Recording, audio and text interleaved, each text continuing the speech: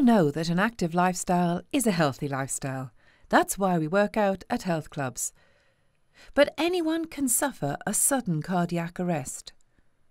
When sudden cardiac arrest strikes, every minute matters. If you see someone suffer a cardiac arrest, you must be prepared to act immediately. They will need CPR and an AED to provide a life saving shock.